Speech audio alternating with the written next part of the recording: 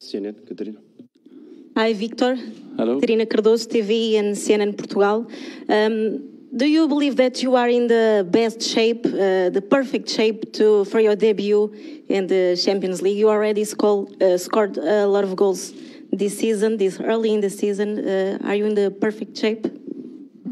Not perfect, but uh, very good, I think. So I think it can be better, um, but yeah, I feel I feel great. CMTV. Pedro Neves de Souza, CMTV. How many years do you want to stay in Sporting? And um, is it possible for Sporting um, to win the Champions League? Um, let's see. Um I think we aim to win uh, the matches we play uh, wherever we- we go. So yeah, I think that's applied uh, in the Champions League also. So we we go for the win and we see how uh, far that can take us. Yeah, also that we we will see what happens. I don't know. SIC. Hello. Hello. Nuno, uh, Nuno Luz from uh, SIC. Uh, what, what do you think uh, this Champions League will have in your uh, future, in your career? Think it's Impact. that the Champions League will have? Yeah, it's a good question. Let's see. Um, I think, like I said, it's a dream to play in the Champions League, and yeah, of course, I want to do well uh, in the Champions League also. So yeah, it's uh, the aim we have as a team, and for me personally as well, to perform and do some great matches. Hi, Viktor. Ricardo Granado of Record. Uh, you were the top scorer of the championship uh, last season. Do you think you can repeat that uh, accomplishment this season, but also in the Champions League? Do you think you can challenge the top strikers of the Champions League in terms of scoring?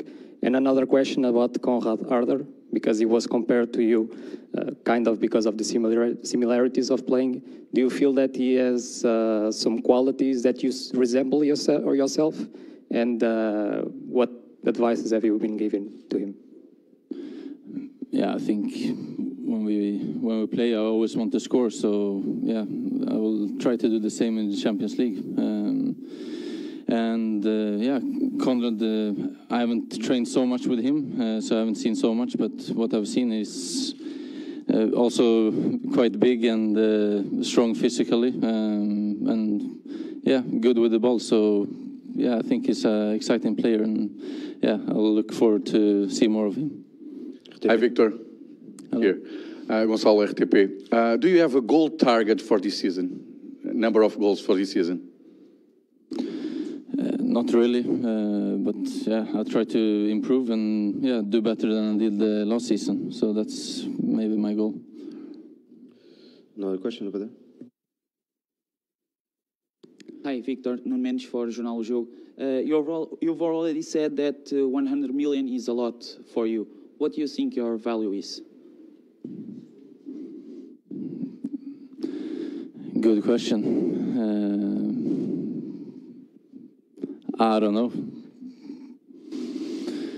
Um, yeah, I'm not. Uh, I'm not working for a club or I'm not an agent, so I'm not into that really. But yeah, obviously it was a lot because yeah, I didn't move anywhere. Uh, obviously, I'm very happy here in Sporting, so it's no problem for me to stay. Um, but yeah, my my value is my value. We'll see what what it is when something happens. Hello, Victor David Silva for Mais Futebol. Um, your celebration was copied by Giovan- Giovanni Simeone, one of the sons of Diego Simeone, Atletico Madrid's coach. Uh, do you think that your celebration, now that you're going to be a um, Champions League player, can be even more a trademark celebration all over the world? Let's see. I might have to do it first uh, on the pitch, um, and then we'll see what what happens after.